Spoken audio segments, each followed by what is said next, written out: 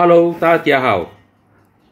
呃，今天呢就有很多网友呢在讨论 Supermax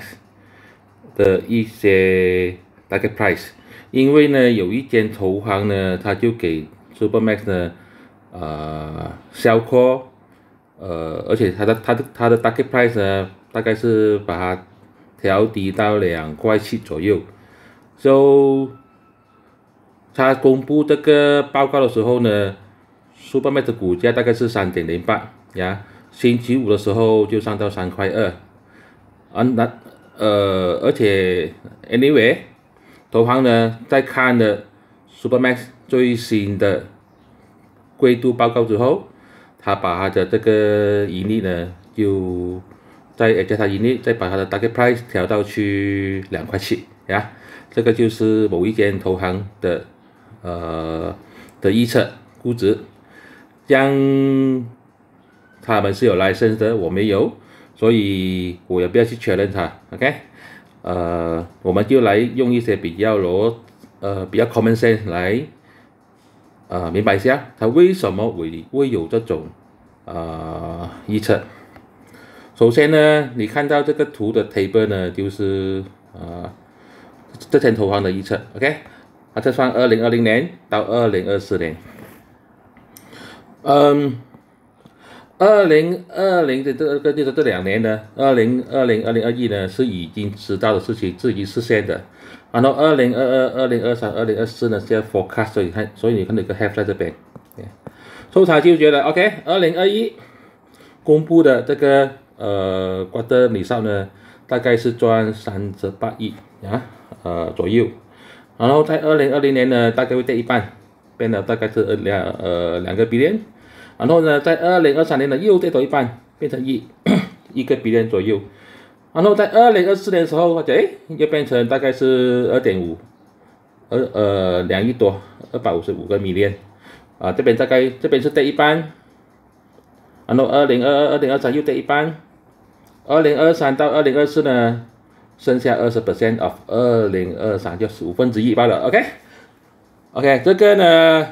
我觉得呢，他就认为说，OK，二零二四年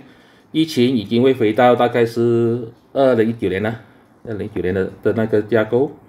然后在二零二四年呢，根据 Supermax 的这个啊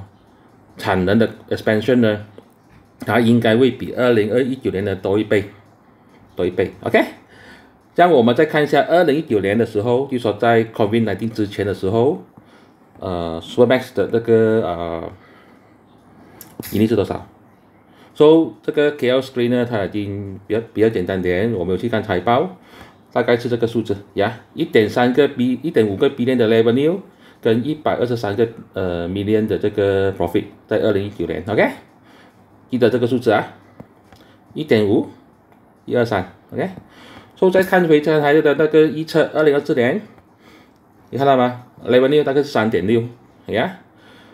，Profit 呢大概是二点五，也就是说大概是二零一九年的 double，啊，double 啊，呃，就说这个这个分析员呢是根据二零一二零一九年的产能比，就说二零二四年比二零一九年的产能多一倍，那他他那他就 assume 你的 Revenue 也是多一倍。你的 profit 也是多一倍，就是这就是啊，为什么他会放二零二四年二点五五点九的这个啊预测，OK？然后呢，因为你是二二零二四年嘛，所以你他讲说，哎，如果你是这种情形之下，根据今天的股价它是三块钱，加上你的 APS 啊，EPS 大概是九点四 cents，你的 PE 就是大概是三十二点七啊，这个是这个是是对的呀。所以说，如果在二零二四年你的产能比二零一九年多一倍，你的呃 revenue 跟 profit 也是多一倍，对比二零一九年是多一倍，这样你的这个 EPS 九点四，算到来你的 PE 大概是三十二点七啊，这个是对的，OK。所以他就想说，哎，这样根据二零二四年呢，你三十二点七的 PE 呢是太高了。我再把它调整一下，因为根据历史的呃，根据历史 P 呢，苏半卖大概是二十左右呀。说调调，他说哎，你现在这价钱只是值两块七，快点卖掉哈。这个就是呃这件投行的逻辑呀，我们这边解释一下。这样，这样你在二零二零，这样我 OK，这个就就是投这个呃分析员的估值两块七的来的原因，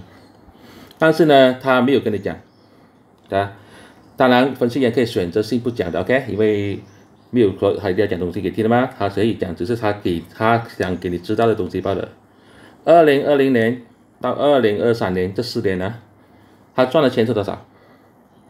他赚的钱就是大概是这个是五个亿，三十八亿，二零二一年，二零二二年二十亿，二零二三年十亿，这个是不是我讲的？这个是他自己讲的，OK？所以全部加起来多少？全部加起来的话，大概是四二七八，大概是接近九个亿。这个九个亿呢的钱呢？是没有在他这个二零二四年里面讲的，OK，还没有讲到这个东西。这是电视机，电视机呢，dividend 大概是九毛钱，也是没有在这边，呃，也是没有在这他这个估值里面讲出来，OK，他当然是知道啦，他他是有来生的嘛，但是他要不要选择跟你讲，这是另外一回事，OK，所以这些东西，这些钱，这个公司赚到的钱，大概是有差不多等，差不多等九十亿啊。啊，他没有去管记的，他是他跟你讲说，他只是跟你讲说，我在二零一九年的时候，我赚大概是呃呃一亿多，所以二十四二零二四年，呃，如果疫情已经完呃已经没有了，我只是看我的产能多一倍，像我的 profit 就是这个有点是，像之前的这个人所例啊，啊，这个是没有算出来的，OK，这个是你们自己去想，他为什么这样子讲？为什么他不跟你讲这个？这些年赚的钱去了哪里？啊，这个我不知道，哎呀，啊，但是他只是跟你讲说，我现在在二零二四年我赚九毛九点四三，P/E 三十二点七是太高了，所以这个价这个股票呢就是 overvalue，这个就是它的这个啊逻辑，OK，这样这个逻辑对不对？我不知道，你们去你们自己去啊判断，OK。既然讲到这个呃，Supermax，我们再去看一些东西，比较一些有趣的东西，OK？呃，刚才我讲了了，那个 PE 呢，大概是历史 P 大概是二十嘛，呀，所以你可以看到，说现在呢大概是二点二左右，二点二一年二点二，就算股价跌一半，所以盈利跌一半，股价还是三，股价还是一样，二零二二年它的 PE 大概是四，再跌一半七。二十八左右，OK，但是它就硬硬说二十四年会跌，就会只是剩下二十 percent of 二零三年，OK，呃，这个我不知道啦，啊，呃，但是如果是依照 P/E 二十历史 P 来讲呢，现在它就算二零二零二三年大概是 P/E 大概是八呢，还是有一个很大的空间，呀，这个是我的看法，呀，我我我的看法呢可能是错的，OK。所以现在这 argument 就说，二零二四年是不是只是可以赚二百五十五点九？这明天，这个是三年后啊，三年后东西谁都不知道，谁都不知道发生什么事情。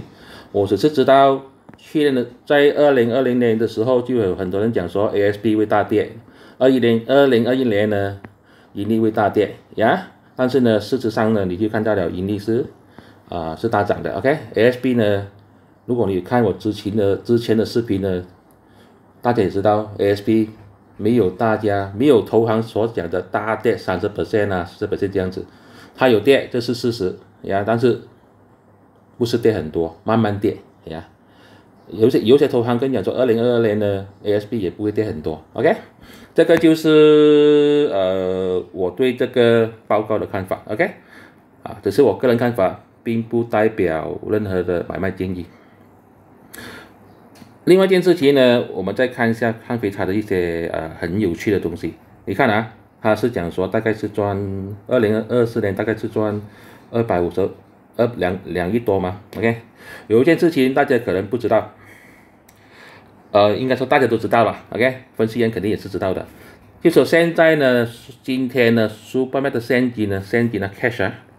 在银行的 cash 啊，大概是三十七亿左右。三十七、三十五亿、三十七左右，OK，三十七七亿啊！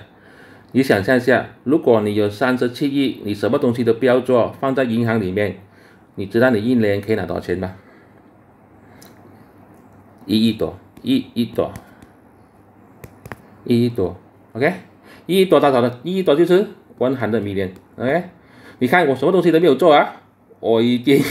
我已经有万行的米年的利息了，OK，再加上我之前那个 extension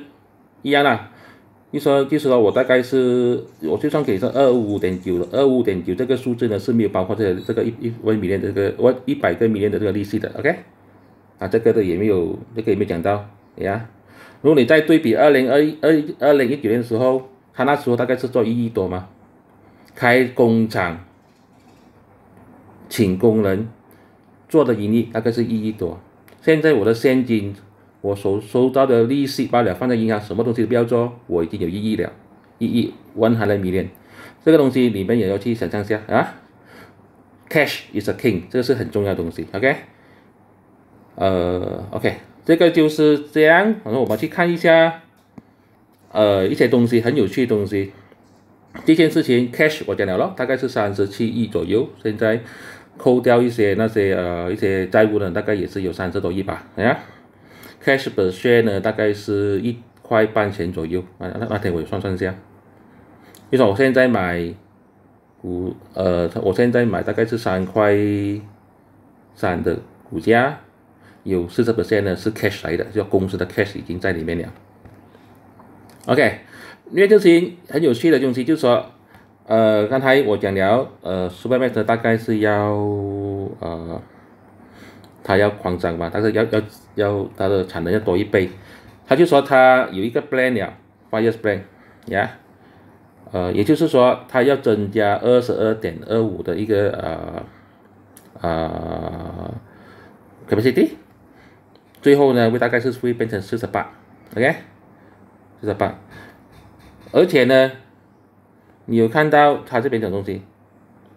，expenditure。已经有预算，大概是一点三九个 million，OK，一点三九个 billion 就大概是十三亿，也就是他现在的 cash 的一半，都不用一半，少过一半，他拿他要拿来把他的产量增加一半，增加一倍，OK，一点三九个 billion 呢，你记得大家大家记得这记得这数字啊，是谁是哪里有钱来的？OK，我跟你讲。有一个很有趣的东西，可能大家也没有去注意到。我们去看它，一下看看一下它的 balance balance sheet 呀。